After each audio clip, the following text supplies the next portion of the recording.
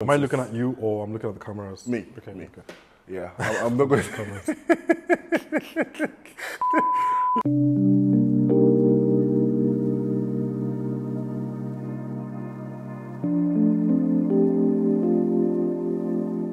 My name is Fola. Fola Bolodeoku.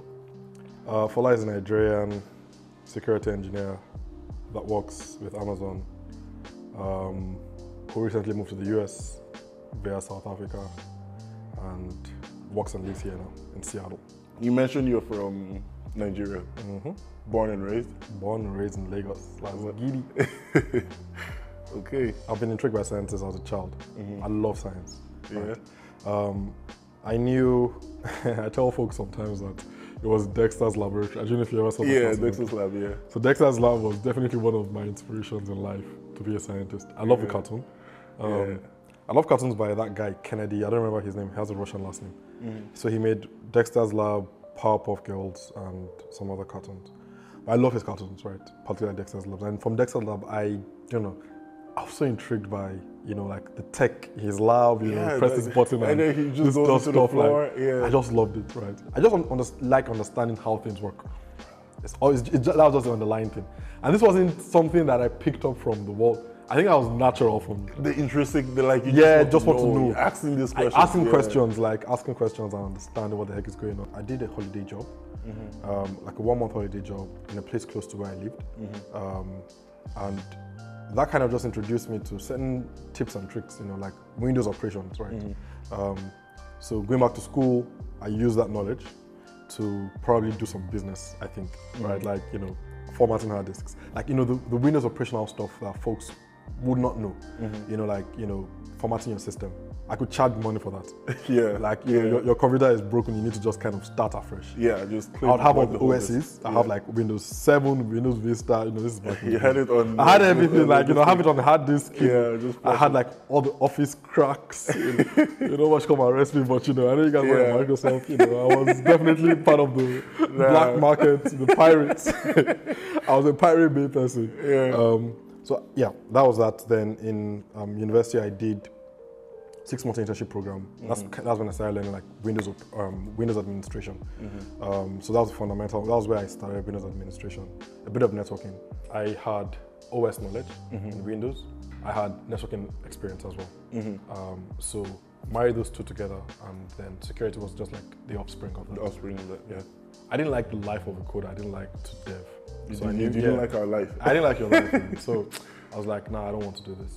Um, and I, being from Nigeria, um, I think I learned pragmatism or like, you know, just you have to understand the reality of the situation. So that means that I was more focused towards careers that I knew had rewards in them, like financial rewards. Yeah, You know, I yeah. was more focused towards that than Yeah. My real passion probably would have been geography.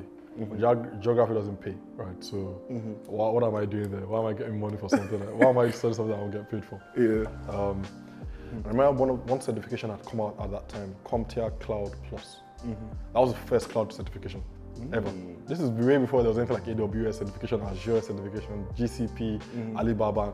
This was back back like when it was still like what's a cloud? There's private cloud, there's hybrid cloud, there's public cloud.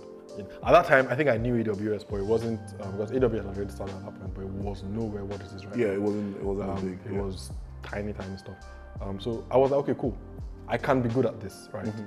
Because maybe I felt like I couldn't be as successful as I would want want to be in being a dev. Mm-hmm. So I was like, since I still had the knowledge of comp science, let me apply it in something that you know Mm-hmm. um, can still make me some bread. Right? Mm-hmm. It's like I was a jack of all trades. I would mm-hmm. do everything. I was just wanting to learn, right? Mm-hmm. And that was really my position. You wanted to absorb as much As as so possible, yeah, so my restrictions were off the table. I took every restriction of okay, I must, you must be this or I didn't care. Like, let me just learn. You know, at this point, I want to learn. Yeah, fast forward to 2015. Um, I still kind of wanted to do that, but you know, reality made me pivot to something that was more realistic, um, and that was what I was doing at that time: endpoint security, server security. They just threw me into the world of like anti-malware, antivirus, anti-spam, um, vulnerabilities, um, patching vulnerabilities, um, pen testing. So that whole world was open to me by, mm-hmm. you know, starting off in this role that was endpoint security related. I explored, you know, what I, I was willing to do whatever. I didn't know where I wanted to end up. Mm-hmm. I was just okay, cool. This is what I got right. Mm-hmm. If they were, if I was to, you know, learn email security, I'd go learn email security to deploy email security products because it was a suite of products. Yeah. There was endpoint security, there was server security, there was email security. Um, what else? There was mobile security. And the security, you have to understand the ecosystem you're protecting, otherwise you can't secure it. Yeah, you'll be surprised. It's really interesting. Like security, there's no dull moment in security. It's How, how do you handle that though? How do you handle that um, high tension. always on your like Yeah. yo like I think it's It's part of my nature, down. right? Yeah. It's, I've, you know, when I look back now, I've been working for since 2014. Mm-hmm. Um, I look back and I can see that I could handle it, Mm-hmm. It's not fun going through it. yeah Don't get it twisted. Like I'm working through it, I'm like, yes. no And it's never fun going. It's it's it's yeah, like I'm I'm not I'm done. yeah Why why me? That's how you feel going through Yeah. it. But um, I look back and I'm not like I wouldn't do that again. yeah Um, I remember getting the email on LinkedIn or a message on LinkedIn from a recruiter in Amazon in Cape Town. This person recruiter comes and tells me there's a role, you know, for me if I'm interested in it. It took me five months from the time I got contacted to the time I got the job. Amazon interviews are like you're going. It's like when you go for the congressional hearing. you know how they grilling you. They grill you for time, and it's not just one time. Um, so you'd start off with like a technical screen, just asking you, okay, um, choose a field that you're comfortable with.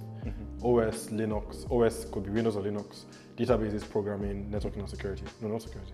I think networking. I don't remember. You shall pick a scenario, and they throw you into a VM, and they give you a set of problems that are broken. So it's kind of like Hack The Box kind of situation, right? Um, they give you a VM and tell you to connect to the VM.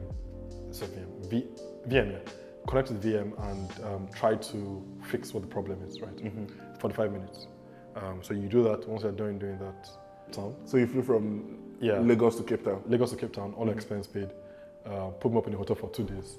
And at this time, it was not just me, right? So there was a window within when Amazon in Cape Town was really expanding for the cloud support engineering role. And they were pulling folks from India, from Egypt, from Nigeria, from Brazil, from everywhere in the world. They could get technical folks because I think they were lacking that amount of technical folks locally. So they needed to pull folks from everywhere. So I think there was a time frame when you know this was happening over They like a four hiring. five year period. We were hiring people. So Yeah. it was recruitment, um, referrals, people applying, just pulling people down to South Africa. Um, and so I flew down there. I wasn't even in the mood for like tourism or nothing like that. Like Yeah, yeah. I was like, yo, this is I need to get this job, man. Exactly, Like, I can't yeah. come this far. Yeah. Uh, you fly me down. I'll, I'll see the building. I come into the office and I don't get. I'm like, Yeah. fam. So like I was reading the entire day before, super focused, super locked in. Then go for the interview. It's a five five hour long interview from like 7 a.m. to like 12 p.m. or 1 p.m. something like that. Um, and you get interviewed by folks that would um, you would work with. Ever feel like you had imposter syndrome like Oh, 100 like I'm like this till is today, Amazon. till this day, Yeah. till this day, I'm an imposter. I don't know how I got this role, man. yeah you're just like I'm an imposter, man. They'll soon find me out and be like, yep. nah. "Who- How is this guy doing here? Like who, Who, who hired him? Yeah, yeah, yeah.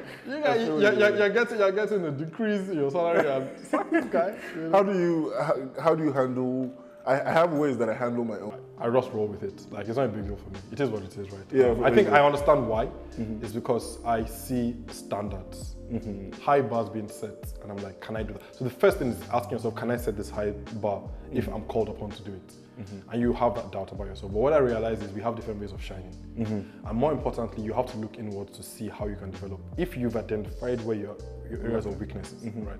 You know these are the areas of weakness, so you don't feel bad about that because you know, okay, I need to know what to do to fix this. I know what to do to fix this. yeah I haven't done what I'm confident that once I do whatever I need to do to fix those areas of weakness, I'll do what I have to do, right? And the beauty about it is because we work in such a very massive field that it's the amount, the, the rate of change in security is insane. Mm-hmm. It changes every flipping second, right? Mm-hmm. Um, there are new threats, there are new, you know, something tiny can just throw the whole thing into work. Mm-hmm. And so no one person has everything covered. Want to move fast. Imposter syndrome prevents you from that because you think to yourself, "Is this good enough?" Sometimes you just really need an MVP, man. Yeah, you just need like a, a POC, push it out there, start working on it. Don't get too hung up on you know certain things and let it move. And you know you fail fast, so become you like reiterate and Iterate, iterate, iterate, and yeah. just yeah. you so- The first thing is usually never the best. Yeah, yeah. Okay, So that makes sense, yeah. Uh, Where, where do you see yourself in the future in terms of tech? Will you still be doing network security, or is it for you? Is it more like, is there a point where you spoke about that continuous learning, right? Um, something for me where I, I write code now. I'm writing apps, building the systems, putting them in the app store. After a while, I'll be like, I don't know. Me and you, we've had this conversation off camera, right? Where it's like, where's the max? Where's the peak? At what point do you say, all right, network security is enough. I want to go into construction or I want to go do something, right? What's that next thing for you? um, you know? I don't know. Uh-huh.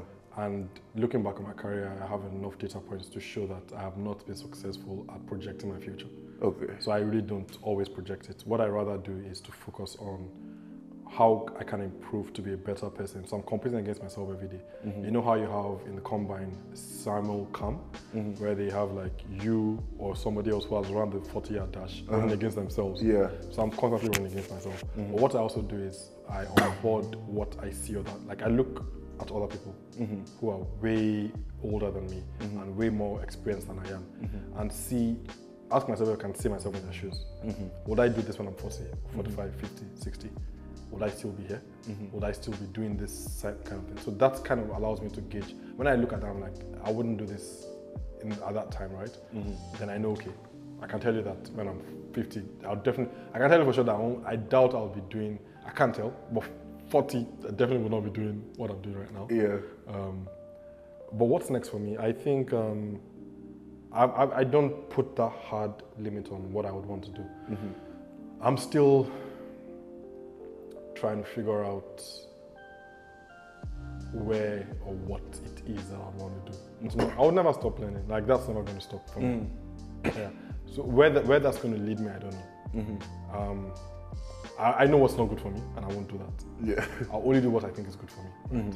Um, I may still be a security engineer, still. I may pivot to something else. Um, I'm not quite sure yet. But I know that for the time being, for the future, the field I'm in is red hot, white hot. um, So I will keep learning in order not to stay, become obsolete, Hmm. which is a big fear of mine. If there's anything that scares me most, is how quickly you can become obsolete in this field. Oh, it's so quick. It's so quick. It's so so it's scary. It's so quick. It's scary, man. Um, And so maybe I would rather divert my energies to some other thing. So I think I, I, I know that for me it's going to be something I'll be natural at doing. Um, I believe I'll be a good leader. Um, but I think there's work for me to do before I get there. Yeah. So again, see, it's setting that bar high and seeing how best I can attain it.